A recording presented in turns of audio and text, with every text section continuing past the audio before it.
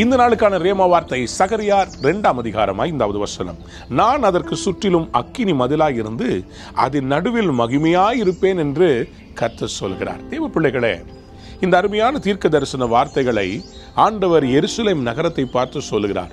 ஆண்டவர் சொல்றார் எருசலேம்ல மறுபடியும் ஜனங்கள் வரப்போகிறார்கள் அவர்கள் பெருகப் போகிறார்கள். ஆகவே ஆண்டவர் சொல்கிறார் நான் உங்களுக்கு சுற்றிலும் மதிலே இல்லை என்று கவலைப்படாதீர்கள். நானே உங்களை சுற்றிலும் மதிலாய் இருப்பேன். உங்கள் நடுவிலே மகிமையாய் இருப்பேன். சாதாரண மதிலா இல்லைங்க. உங்களை சுற்றிலும் அக்கினி மதிலாய் இருக்க போகிறார்.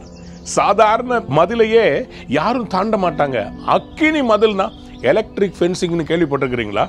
பெரிய பெரிய அந்த காடுகளுக்கு பக்கத்தில் இருக்க வீடுகளில் சுற்றிலும் மிருகங்கள் உள்ளே வராமல் இருப்பதற்காக எலக்ட்ரிக் ஃபென்சிங் அதை தொட்டாலே பஸ்மமாயிருவாங்க. இது உலகத்தில் இருக்கிற கரண்ட் ஆண்டவர் சொல்றாரு நான் உன்னை சுற்றி அக்கினி மதலாக இருப்பேன். உன்னை தொட்டா என் கண்மணியை தொட்டது போலன்றார். தேவ பிள்ளையே இன்றையிலிருந்து உங்களுடைய பாதுகாப்பை கத்தர் பலப்படுத்துகிறார். உங்க வீட்டுக்குள்ள தேவ மகிமை இறங்கி வரப்போகிறது. உங்களை சுற்றிலும் கத்தருடைய பாதுகாப்பு வளகம் பலப்படுகிறது. இனி மேலே உங்களை யாரும் தொட முடியாதுங்க. இனி சத்ரு உங்க பாளையத்துக்குள் வர முடியாது. அழிவும் நாசமும் உங்கள் வீடுகளில் கேட்கப்படாது. கூக்குரல் உங்களுடைய வீட்டின் கூரைகளிலிருந்து அது ரட்சிப்பின் கம்பீர சத்தம் துடிக்கும்.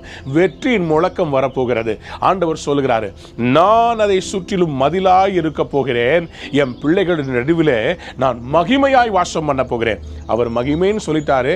வெற்றி வருகிறது சந்தோஷம் வருகிறது அற்புதங்கள் கொண்டாட்டம் வருகிறது மகிமையாய் இருக்க போகிறீர்கள். God bless you have a wonderful day amen